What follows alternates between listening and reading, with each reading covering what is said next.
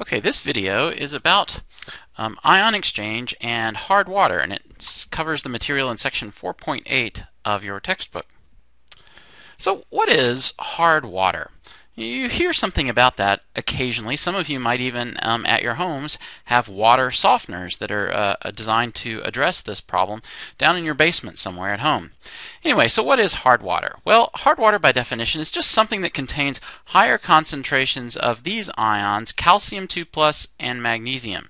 So calcium 2 plus and magnesium get formed when water underground passes over certain kinds of geologic structures that are rich in um, limestone and dolomite, which have high concentrations of calcium carbonate and magnesium carbonate.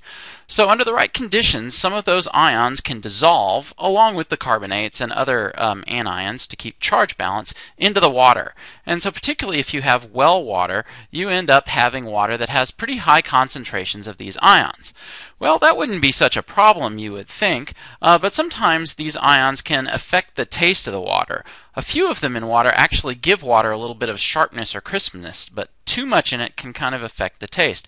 But more importantly is that these ions can combine with anions from soap. So you may not know that soap has anions in it. So soaps are made of kind of fats that have been modified, and the fat part is what dissolves dirt and oil and soap and those sorts of things. But there's an anion part attached to those molecules, and those anions then combine with these calcium and magnesium anions uh, cations, and what do they do? Well, they precipitate out.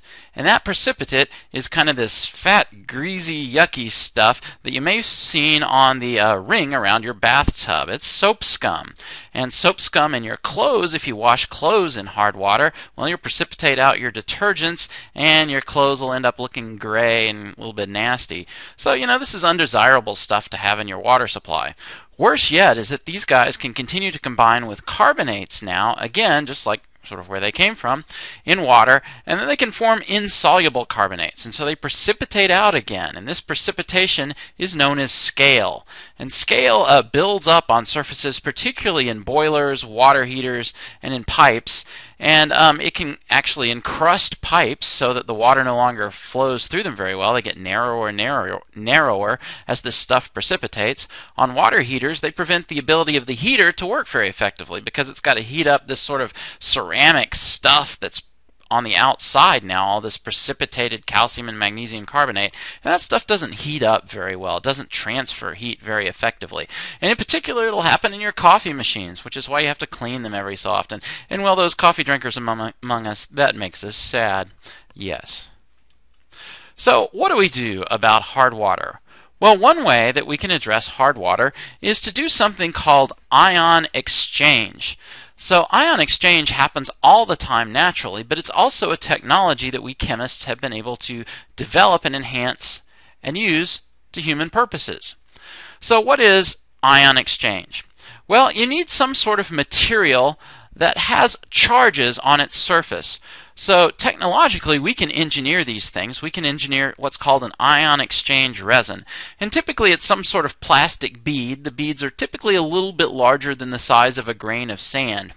And on the outer surface of those beads, we've been able to chemically modify those with things called carboxylate groups. So attached to the surface, so I'll draw this little wiggly line to represent the surface of the bead, then and so this is all that plastic material sort of inside here.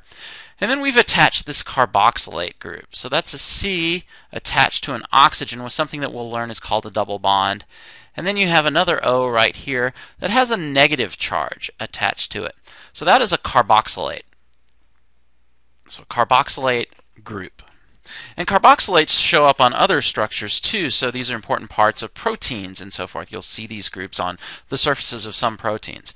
But anyway, so what we do is we fill up a uh, water softener uh, device. So it's a big can, right, that sits in your basement. It'll be, you know, several feet tall and a few feet in diameter, you know, so it looks like this big tub. And we fill it with this resin. And each of these tiny little beads will then have a carboxylate with a negative charge. So remember, we always have charge balance in nature. You never see charges by themselves, so there's always something to counterbalance the charges.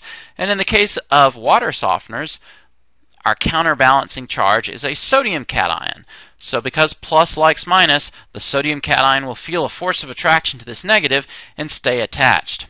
Now then as you begin to flow hard water through this system, so it kind of goes in through this pipe, down, percolates through all these beads, and out through a little filter that then comes up and then out to your house, soft water. Well, what happens is the uh, water that comes in with calcium and magnesium cations, well, they float in here, and it turns out that calcium and magnesium have a bit higher affinity for these carboxylates than the sodium cations do. So what they do is they'll go in and attach themselves to the carboxylates and displace the sodiums that were there. And then the sodiums get released, and sodium cations won't bind with things to precipitate. Remember our solubility rules, all sodium cations are soluble, so we're not going to make insoluble stuff. And so the sodium cations then flow out to your water source as soft water, and so we can use that in our homes now. But you'll sort of see a problem with this, right? As you keep using this, what's going to happen? Well, more and more calciums are going to come in here and bind the carboxylates, knocking off the sodiums, and eventually all these sites, or at least many of them, will be occupied by calciums. What are we to do? Well, those of you that have these things in your basement know that periodically you have to go out and you have to buy this big bag of what is actually just sodium chloride. It says water softener on it, but it's just salt. It's just sodium chloride. And you take that sodium chloride and you add it to your water softener system. And then what you do is, and it makes a brine. Brine is just salt water. So you flow the salt water in. Then what happens? Well, the brine's coming in and it's kind of going up through the bottom here and it's going to get washed out. It's called backwash, so it goes in here and out this way. So you close one of these valves so it doesn't go to your house while you're doing this. And um, so because you don't want to have lots of salt water coming out of your spigots suddenly. Anyway, so all that salt water comes in here, and because these concentrations are so high, there's a chance that these calciums will just naturally break off. Now here in this case, um, the calciums would then reattach somewhere else. But now, because we've got such a high concentration of sodium, chances statistically are much higher that these sodiums are going to bump into these negative charges and stick there, and eventually the calciums will get washed out. And so that's how you regenerate your ion exchange resin.